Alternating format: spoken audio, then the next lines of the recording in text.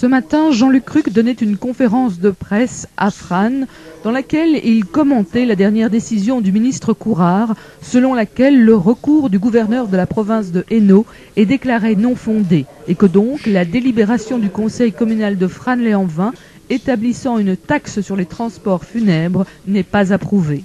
Le collège communal s'est réuni ce matin et a décidé, comme souvent d'ailleurs à l'unanimité, d'introduire un recours contre la décision du ministre Courard et devant le Conseil d'État. Qu'est-ce que vous lui reprochez au ministre Courard aujourd'hui? De vouloir tenter d'arriver dans le Guinness Book euh, des records, bien évidemment. Le ministre Courard réussit ici à contredire son gouverneur.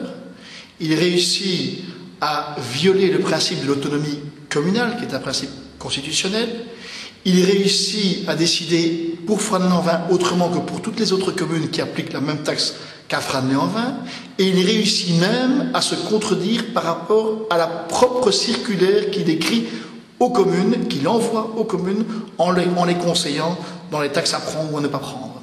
Donc la taxe que vous avez levée, elle est répertoriée dans la circulaire du ministre Courard et il dit si vous prenez levez cette taxe-là, vous n'aurez aucun problème. Donc que les choses soient claires, le ministre, le euh, dans sa circulaire, conseille les communes en disant voilà le canevas, si vous appliquez une des taxes qui est dans cette circulaire, on a d'ailleurs été plus loin, nous on a repris le modèle du ministre Courard lui-même, si vous faites ça, je peux vous garantir que votre taxe est légale et je peux vous garantir qu'elle ne laisse pas l'intérêt général. C'est ce que nous avons fait.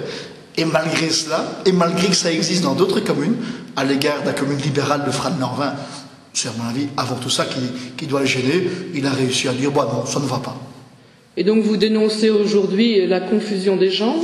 Pas seulement la confusion des genres, je dénonce l'arbitraire. Le fait qu'un ministre ne respecte pas lui-même les règles qu'il a mis en route. Ça, ça s'appelle l'abus de pouvoir. Mais vous savez, moi j'ai l'habitude d'être confronté à ce pouvoir socialiste qui se croit tout permis.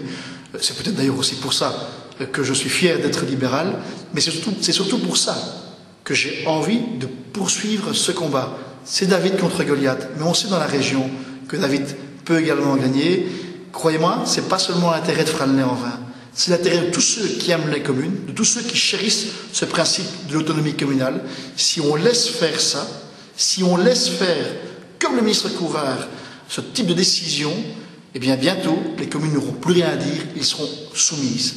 Je ne serai jamais un homme soumis, je ne veux pas que la Frane en vain soit soumise, et je ne veux pas non plus que nous soyons dépendants d'un pouvoir, quel qu'il soit, le ministre Courard ou l'intercommunal.